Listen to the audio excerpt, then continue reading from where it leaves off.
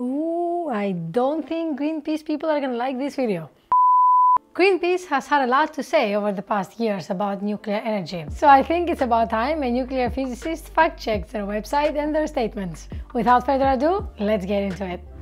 Okay, so let's first start from, I guess, the general website, uh, right? Read a little bit about Greenpeace and what they have been doing. I see already the moment I open the website, the first thing I see is give to Greenpeace $25 a month. Relax, you're making millions. to push for a non-profit organization.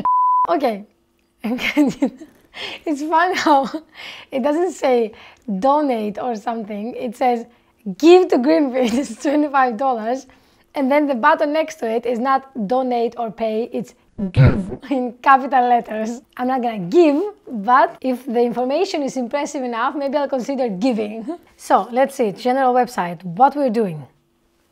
We've been campaigning for green and peaceful future for 50 years and we're not stopping now. Aggressive, straight to the point. It's time to rise up like never before and fight for our climate and communities. I'm all for that. Let's do it. Let's see how you do that. We defend the natural world and promote peace by investigating, key, exploring, confronting environmental abuse, championing environmentally responsible solutions, and advocating for the right and well-being of all people. I absolutely agree with all of these statements. That's nice. We take action only where we and our supporters can make the biggest impacts, where people's lives are most affected and where environmental risks are most dire. The problems we're tackling are big, it takes a huge effort, a bit of bragging here and there to justify the $25 a month. it takes a huge effort to make uh, possible by people all over the world. That's where we come in. Our movement is inclusive, people powered and collective with people like you at the center, like me, did I already become a part of it without even consenting. We care just as much as about big political and corporate changes as we do about empowering people to act in their homes and communities. Empowerment goes both ways. The way and resources that we are able to devote to pushing for a greener and more peaceful world are only made possible because of the courage, heart, and collective power of the people like you. Okay, well, all in all, I see that in the front page they are very active. Activism is definitely the key of what they're doing, and they seem to be very eager about it and not easily stoppable. And if they are doing it for the right cause, then I don't see the problem with that. But uh, let's move on and go a little bit more in depth. So I opened up a page about nuclear energy and uh, under the title Nuclear Energy, first thing that we read is nuclear power is dirty, dangerous, and expensive. Say no to new nukes. And I have a lot to say about this sentence. to be honest, I kind of expected this treatment, let's say, of Greenpeace towards nuclear, even though I didn't expect it to be so forward, uh, but I expected these to be their statements. Uh, but dirty, dangerous, and expensive. Say no to new nukes. I want to see how they explore these definitions, but only the fact that they use the word nukes to describe nuclear energy, even though it's usually referred to nuclear weapons, is already quite misleading and is using basically terminology that is not usually applied to nuclear energy in the nuclear industry in order to promote this kind of, uh, let's say, negative image that uh, they are planning to picture about nuclear. But let me not be too biased, right? This is just one sentence. Maybe they will clear it out in the rest of the text. Nuclear energy has no place in a safe, clean and sustainable future, says Greenpeace. Nuclear energy is both expensive and dangerous, and just because nuclear pollution is invisible doesn't mean it's clean. Renewable energy is better for the environment, yeah, I would have no doubt. The economy, Mm, interesting. I want to see the numbers. And doesn't come with the risk of a nuclear meltdown. Uh, Greenpeace got its start protesting nuclear weapons starting back in 1971. And I like how immediately from the nuclear energy, the first paragraph they are talking about is about nuclear weapons. So it's literally like trying to make it as one thing, even though they are completely separate, separate the non-proliferation section and the nuclear weapons section and industry are not related to each other. Maybe they were when nuclear started, but they're definitely not in the 21st century. And it's interesting how they keep promoting that same idea and belief to the people who might not have as, let's say, advanced knowledge on the nuclear energy and get these kind of things as facts from the Greenpeace website. We've been fighting against nuclear weapons and nuclear power ever since. Yeah, fighting against nuclear weapons, I agree. Fighting against nuclear energy, which is the title of your blog post, how is that relevant? High profile disasters in Chernobyl, Ukraine in 1986 and Fukushima, Japan 2011 have raised public awareness of the dangers of nuclear power. Consequently, zeal for nuclear energy has fizzled. The catastrophic risk of nuclear energy, like the meltdowns of nuclear reactors in Japan and Ukraine, far outweigh the potential benefits. New nuclear plants are more expensive and take longer to build than renewable energy sources like wind or solar. If we are to avoid the most damaging impact of climate change, we need solutions that are fast and affordable. Nuclear power is neither. We can do better than trading off one disaster for another. The nuclear age is over and the age of renewables has begun. This is a very one-sided approach to the whole topic, which I kind of expected and that was going to happen. Let's say pushing all the negative and the disadvantages of the one energy source and very strongly and one-sidedly promoting only the positive stuff of the other energy source, which in this case is renewables. I don't disagree that the nuclear accidents that happened in uh, Chernobyl and in Fukushima are detrimental and uh, the industry has learned from them and has moved on to better and safer constructions and even modifications of the generation 3 reactors which are not mentioned here. And yes the nuclear industry has fizzled and the, the interest for it has went down after these accidents because people were scared and people were falling back and trying to fix the problems that they currently were facing in order to even move forward and develop new technology in the nuclear industry. But currently, the nuclear industry is pretty much booming, and there is a lot of interest and a lot of research and from the industry and the research and academia side, both development for the nuclear energy is quite strong at the moment. So I'm not sure where this information is taken from or if maybe the information is dating at the same time that Greenpeace started protesting, which is around the 70s, but it's definitely not the case in 2023.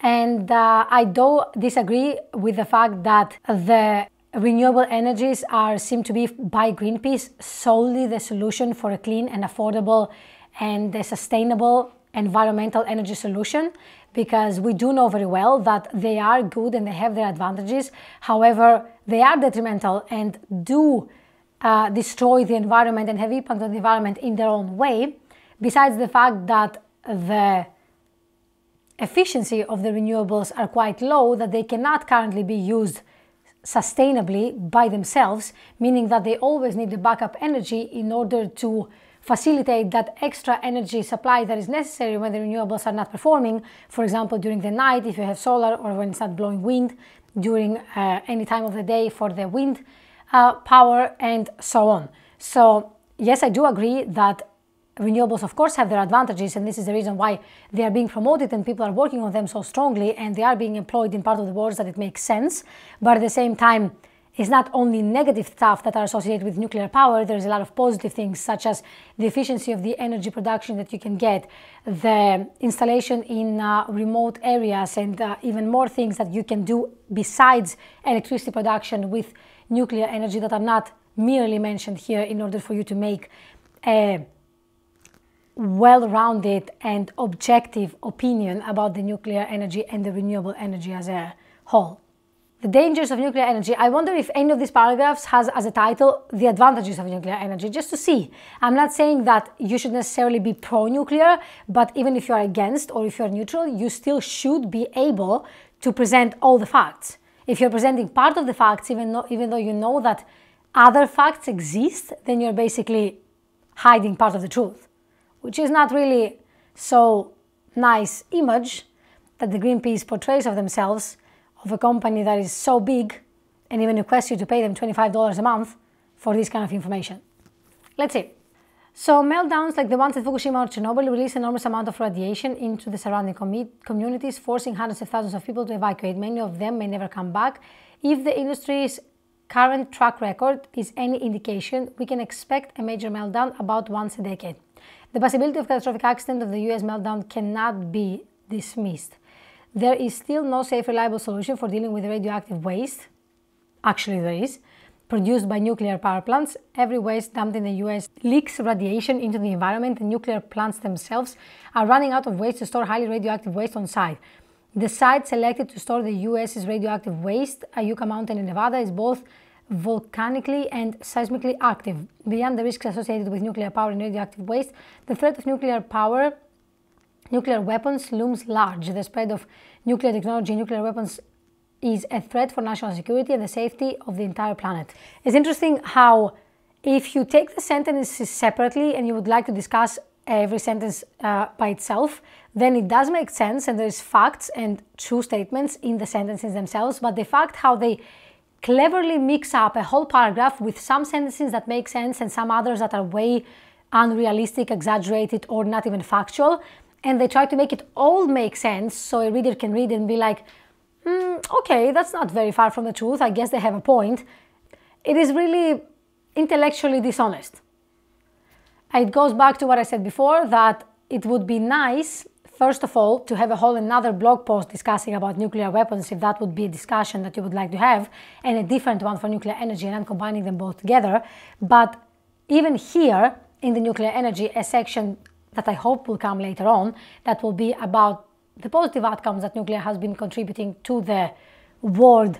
And even about these accidents that they are referring to, they don't really give much information about how they happened because we do know, for example, that the Fukushima accident was not uh, did not happen because of nuclear malfunction or some nuclear problem. It was a natural disaster that led into a nuclear accident, and it's quite important for people to know and to separate that. I'm not taking away from the fact that it is an important accident that it did happen, but I'm just saying that it is important for all the information to be present for the people to know and understand the situation in a whole well-rounded way.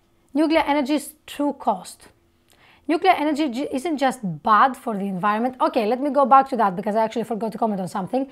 It says that there is still no safe, reliable solution for dealing with the radioactive waste produced by nuclear power plants. I wonder this post, when was it written? Because there is reliable and safe solution about dealing with the radioactive waste coming out of the nuclear power plants, we have geological permanent repository facilities in which the nuclear waste will be stored. Several countries are already building them. Some uh, countries like Finland already have them established and are ready to be used quite soon. Um, so it would be nice to go here and update those information, but I'm not sure if that would be of the benefit of Greenpeace to, for example, even put the countries that have an idea on how to deal with this waste, and not just an idea, but an implementation and a plan in place, and put a couple of links of these websites that exactly and accurately describe of how the process will be done and what will be the effect on the environment, which is none to minimal in case of an accident, instead of just intellectually dishonestly showing this kind of information and presenting them as facts even though they are not. Nuclear energy's true cost. Nuclear energy isn't just bad for the environment, it's bad for our economy. Nuclear power plants are expensive to build, promoting, prompting Wall Street to call a new nuclear a bet the farm risks. Every nuclear power plant under construction in the United States is well behind schedule, at least 1 billion over budget. This is even before taking into account the astonishing cleanup and health costs caused by radioactive waste pollution and nuclear meltdowns. Cleaning up Fukushima, if ever possible, will cost at least 100 billion and could be more than double that. Why invest money in a dangerous, unsustainable form of energy when we can have clean, renewable energy for less? What we need, no new nukes, and I'm assuming Greenpeace refers to nuclear power plants as nukes, which is misleading in itself and quite uh, frustrating let's say nuclear energy is uh, diverting attention and investment from the sustainable energy solutions we need. It sounds almost as if they have something to gain out of this sentence. It's time to stop building new nuclear facilities. So is it that nuclear facilities are not being built and they are not of interest anymore to the society and the economy?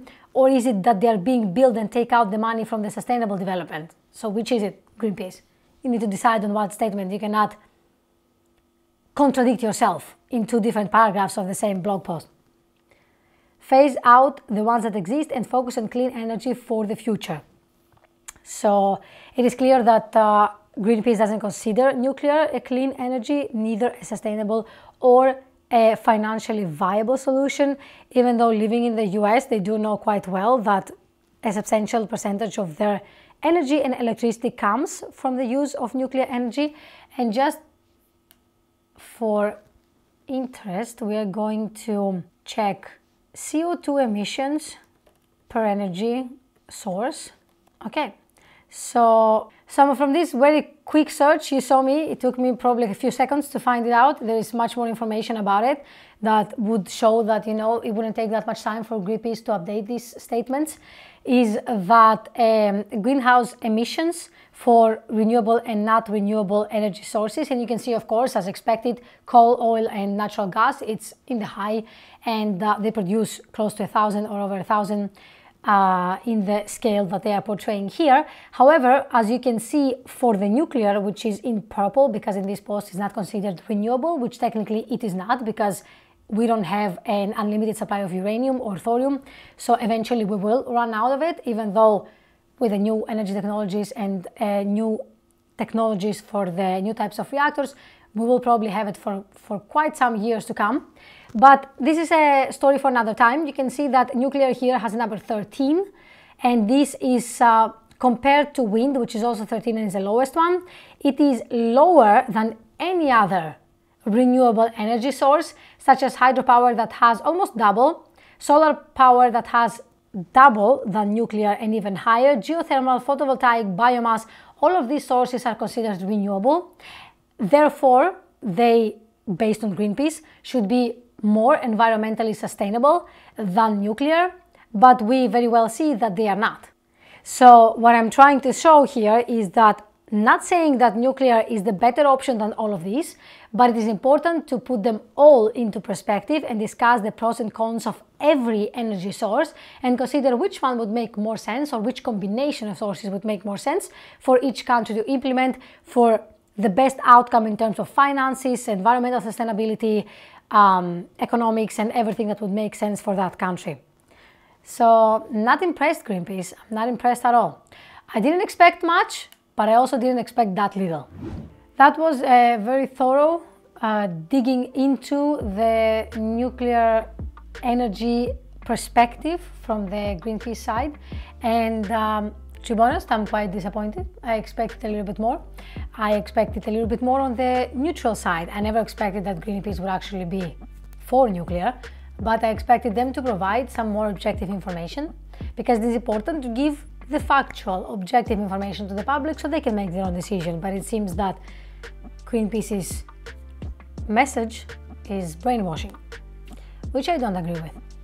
Let me know what you think down in the comments and uh, if you support more the Greenpeace side or are you more on the neutral and objective side or maybe you do think that the, the way that Greenpeace projects things is actually neutral. So I would like to know your thoughts in the comments down below. Thanks for watching. Don't forget to like and subscribe and turn on the bell notification icon. It's been Elina, your friendly nuclear physicist, and until next time, see you soon. And then the button next to it is not donate or pay, it's give.